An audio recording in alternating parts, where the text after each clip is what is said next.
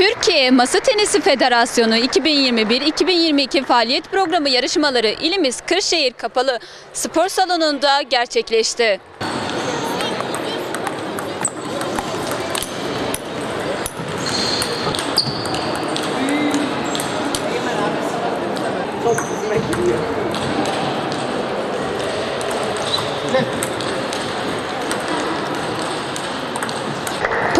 Programla ilgili Kırşehir Gençlik Spor İl Müdürü Numan Nafız Şahin'den açıklama aldık.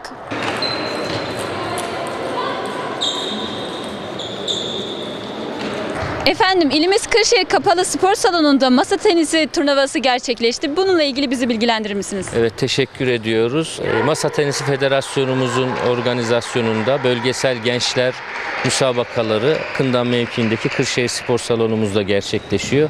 Toplamda 18 takımın ve ilin katılımıyla e, bayan ve erkeklerde olmak üzere e, iki gün boyunca e, sürecek e, turnuvaların neticesinde finallerde müs- müsabakaya katılacak sporcuların belirlenme yarışıdır.